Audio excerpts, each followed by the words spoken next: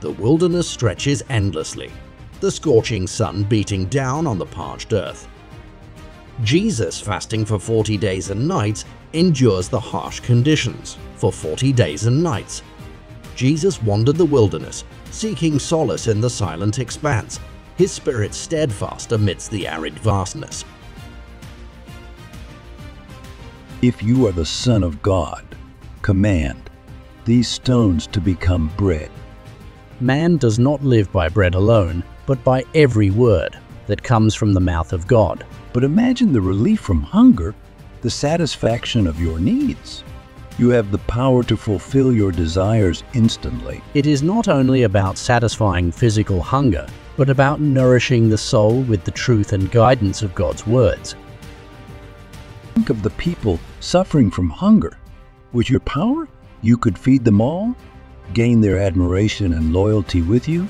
My mission is not about using my power. For personal gain or worldly admiration, it is about spreading love, compassion, and the will of God in the world to show the mercy on people. You are resilient, Jesus. But mark my words, I will find other ways to test your resolve. I trust in God's plan, and I will remain steadfast, no matter the trials you bring. When Jesus was very hungry, he faced a big challenge. He was offered food to eat, but he chose to stay strong in his belief in God instead of giving in to the temptation of eating earthly food to fill his stomach. This shows how much Jesus trusted in God, even when he was really hungry. If you are the Son of God, why not prove it? Throw yourself down from here. It's written in the Scriptures. He will command his angels concerning you. It is also written, Do not put the Lord your God to the test. I will not test God's protection just to prove who I am. But think of the spectacle the awe it would inspire.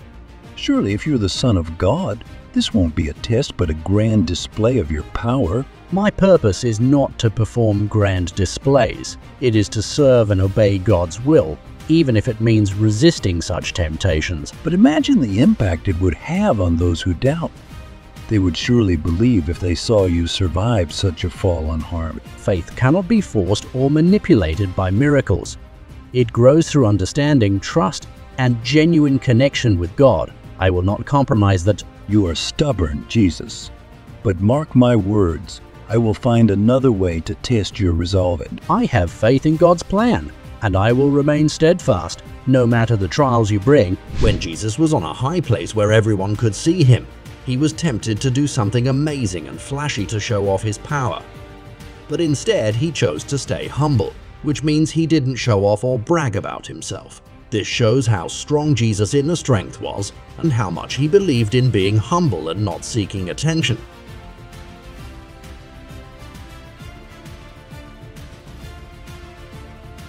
I will give you all of these things, all the riches and power of the world, if you will fall down and worship me. Get behind me, Satan, it is written, You shall worship the Lord your God and serve him only. Think of the kingdoms you could rule, the influence you could wield.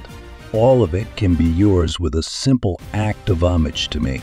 True power and authority come from God alone. I will not compromise my devotion to him for temporary worldly gain. But imagine the good you could do, the lives you could change with the resources at your disposal. The ends do not justify the means. Doing good must be aligned with God's will and done in His name, not through compromise with evil and demon. You are unyielding, Jesus. But know that I will continue to test your resolve. I trust in God's plan, and I will remain steadfast, no matter the trials you bring. In the beautiful world that God made, Jesus was offered a chance to have lots of power and control over things on earth. But he said no to this offer because he stayed focused on his love and commitment to God. This shows how Jesus stayed true to what he believed in, even when there were tempting offers of power around him.